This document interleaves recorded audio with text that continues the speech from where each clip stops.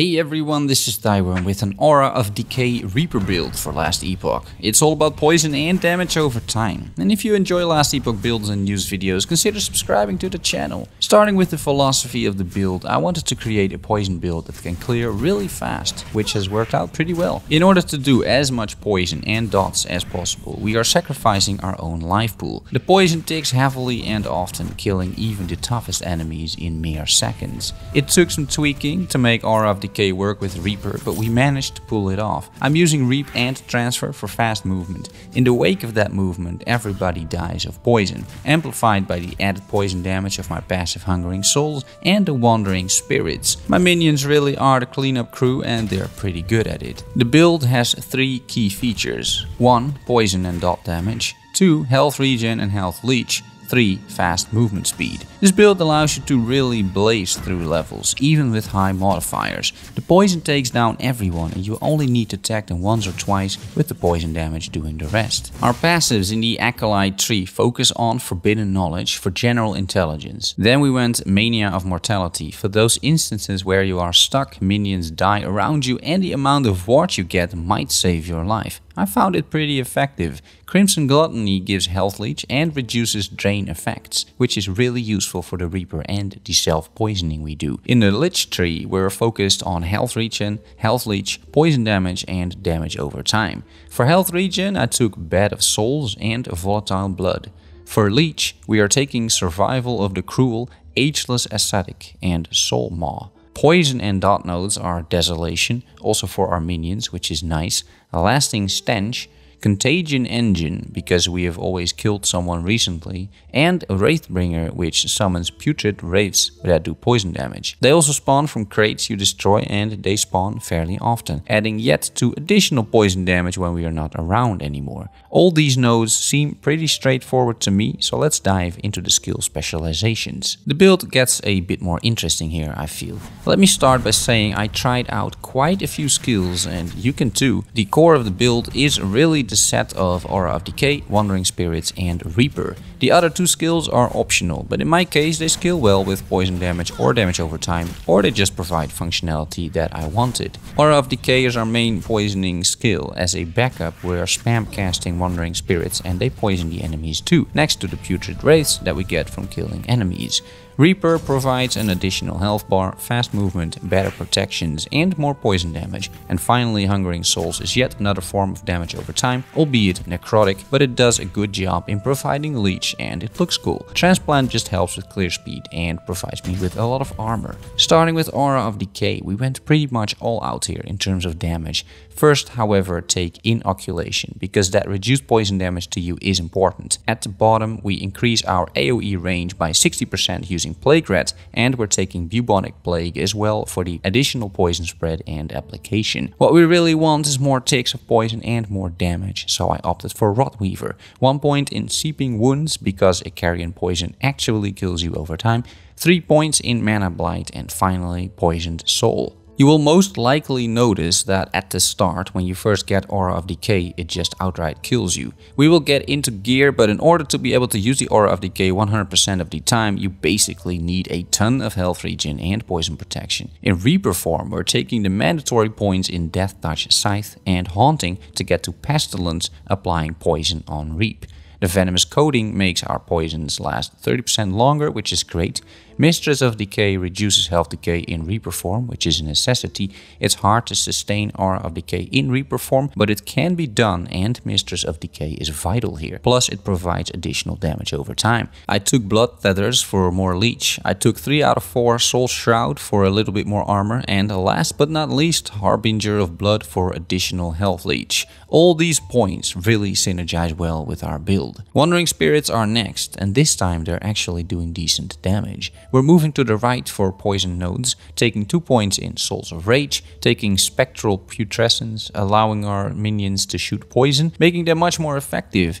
We increased that node by picking up Souls of Filth, which makes them cast more often. I didn't take the extra range because it really wasn't necessary. Instead, I took Poisonous Minds because enemies are always poisoned. Lingering Souls increases the amount of time the spirits spawn, resulting in more damage over time. Infectious Dead converts all the damage spirits do when they touch enemies to poison, which is of course great. And we top off the spec with additional damage in the form of Tethered Existence and Spirit Swarm, so we can spam the skill. If you want more protection, you can opt to put the 5 points of Tethered Existence into Medium and Sheltering Spirits. You would be getting a lot of ward that way and I might spec into that later on. For now, this worked pretty well. Then we get into more optional territory, but I picked Hungering Souls because it provides damage over time, but more importantly, it can cast passively when hit and I really like that. I don't want to be casting tons of skills, instead I opted for this. And it works really well to be honest. We're taking the whole passive tree line to the bottom left. I went for 6 additional skulls with Soul Swarm, just because of the looks, but the crown jewel of this spec is definitely the 7 points in Inspired Hunger, providing us with 70% poison damage after we cast Hungering Souls. This is up almost all the time because you're always getting hit with minor attacks or projectiles. It's a huge damage boost.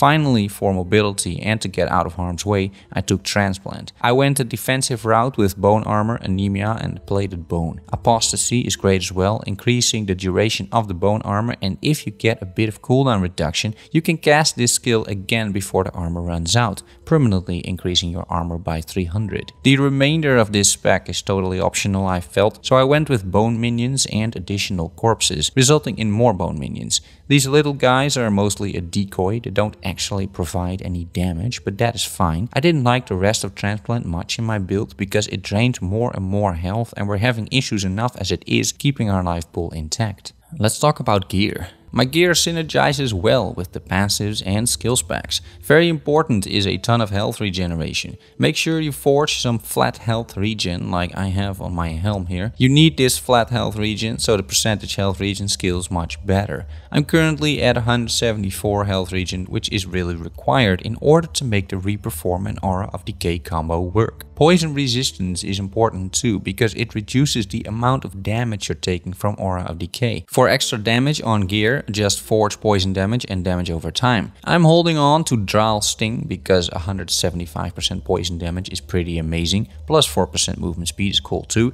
Stormtide is also really fast and clear speed is a staple feature of this build, even though the drawback of losing 100 elemental resistance every time you stop moving is significant.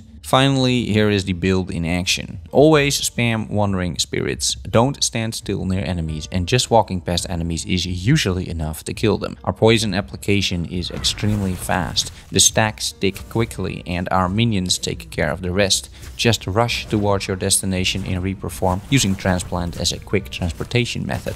Always make sure when in Reaper form to poison enemies at least every 3 seconds or so. If you fail to do that, you won't leech enough health and Reaper form runs out really quickly.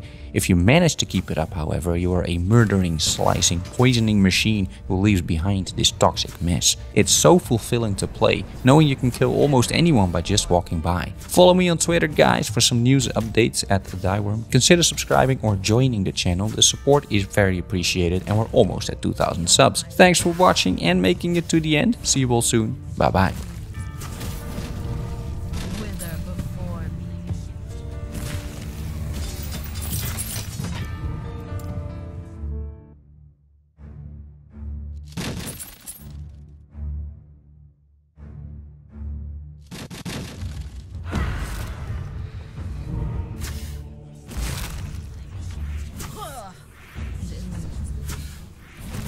before me.